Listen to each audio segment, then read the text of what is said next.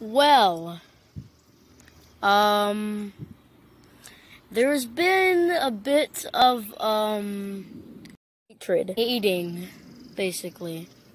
So, I decided I'm going to copy the absolute ever living crap out of somebody who we do not speak of. Um, however, I will ask for a Q&A, basically. Uh, I'm just going to ask for questions. I'm going to send this to everyone who knows my channel or just doesn't, or who will likely respond. So, yeah, you can ask me questions and um, either comment on this video, tell me on Discord, whatever.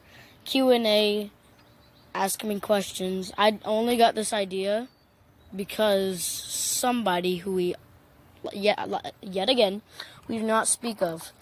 Now I shall wait and sip on my juice box on my swing while I wait for your responses. Let's see what we get.